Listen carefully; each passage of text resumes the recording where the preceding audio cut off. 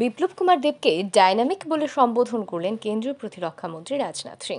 মঙ্গলবার রাজ্য সফরে এসেছেন দেশের প্রতিরক্ষা মন্ত্রী। মহারাজা বীর বিক্রম বিমানবন্দরে অবতরণ করলে তাকে স্বাগত জানান রাজ্যের মুখ্যমন্ত্রী মানিক সাহা এবং সাংসদ তথা রাজ্যের প্রাক্তন মুখ্যমন্ত্রী বিপ্লব কুমার দেব। এরপরই তিনি যোগ দেন ঊনকোটি জেলায় বিজয় সংকল্প র্যালিতে। সেখানেই বক্তব্য রাখতে গিয়ে রাজনাথ সিং প্রথমেই বলেন, ত্রিপুরার মুখ্যমন্ত্রী ছিলেন বিপ্লব কুমার দেব।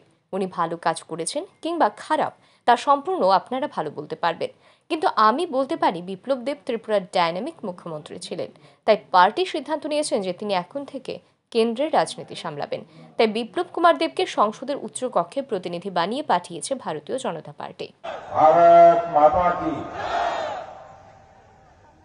त्रिपुरा के पूर्व मुख्यमंत्री जिनका अभी अभी आप लोगों ने भाषण सुना है वो बंगला में बोल रहे थे लेकिन बंगला भाषा में मैं उनकी पूरी बात को नहीं समझ पा रहा था, लेकिन कुछ हमने समझने की कोशिश की है।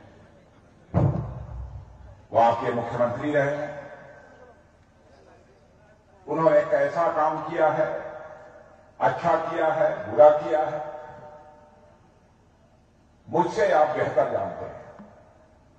लेकिन मैं कह सकता हूँ कि विप्लव देव इस त्रिपुरा के एक डायनेमिक चीफ मिनिस्टर रहे हैं। डायनेमिक चीफ मिनिस्टर रहे हैं। जिनके बारे में पार्टी ने फैसला किया कि अब वह त्रिपुरा के मुख्यमंत्री तो रह चुके हैं। अब उन्हें केंद्र में राजनीतिक ज़िम्मेदारी को संभालना चाहिए। इसलिए संसद के सर्वोच्च सदन में एक प्रतिनिधि बनाकर भारतीय जनता पार्टी ने विप्लव देव को राज्यसभा में भेजा।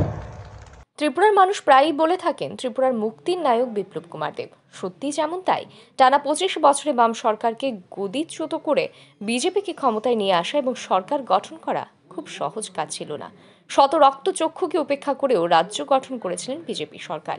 তাই হয়তো বিজেপির এই ডাইনামিক ব্যক্তিত্বকে রাজ্যে নয়, বরং বিপ্লবকে দেশের রাজনীতিতে রাখতে চাইছেন কেন্দ্রীয় নেতৃত্ব। ব্যুরো রিপোর্ট, আর ই নিউজ।